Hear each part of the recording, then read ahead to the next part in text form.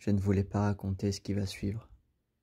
Cette histoire est tout ce qu'il y a de plus réel et encore aujourd'hui, je me demande comment cela a pu réellement arriver. Tout commença lorsque j'ai commencé mon stage de coiffure dans un super salon avec un patron génial.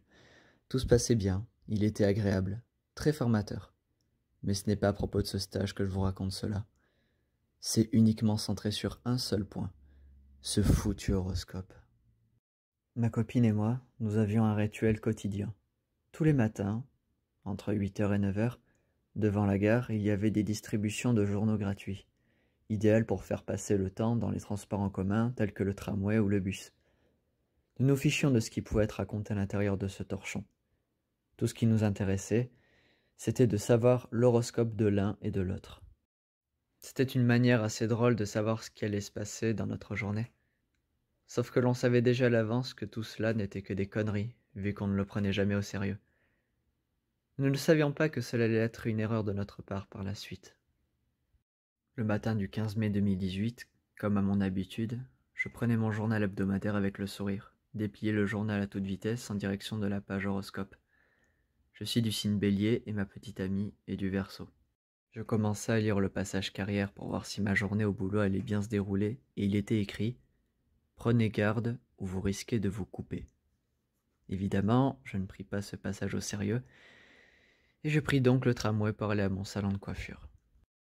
Plus tard dans la journée, après plusieurs coupes de barbe, mon rasoir ne coupait plus aussi bien. Je décida donc de changer la lame de mon rasoir pour pouvoir poursuivre mon travail. Après avoir ouvert le plastique de la nouvelle lame et avoir introduit cette dernière dans mon rasoir, je me suis aperçu que trop tard que la lame avait un défaut elle était cassée à un certain endroit. Je m'étais seulement coupé en refermant le capot du rasoir. Résultat, j'avais le bout du doigt ouvert et en sang. Je pris rapidement un pansement et du désinfectant, c'était désormais de l'histoire ancienne. Puis je me suis souvenu de l'horoscope qui m'avait mis en garde à propos du rasoir. J'étais étonné que cette fois-ci, ce qui était écrit s'était pour une fois réalisé. Après, dans le fond, je pensais juste que c'était une banale coïncidence. En rentrant chez moi, après avoir raconté ma journée tout à fait banale à ma moitié, je me suis souvenu de ma coupure en regardant le pansement.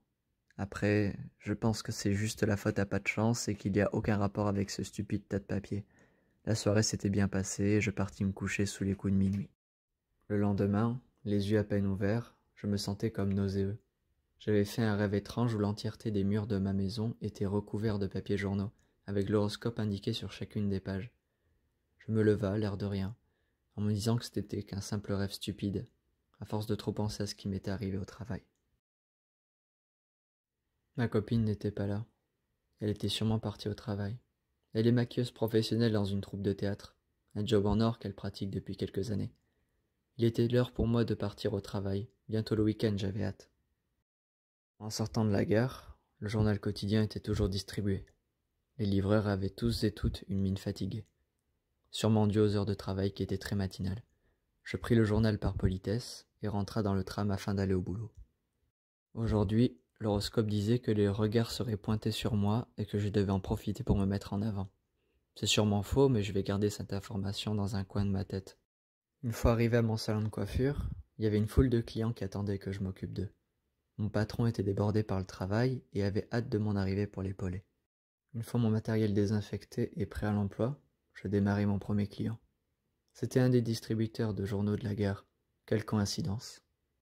Je lui demanda quelle coupe il voulait, mais son attitude était très étrange, comme s'il n'était pas conscient qu'il était chez le coiffeur.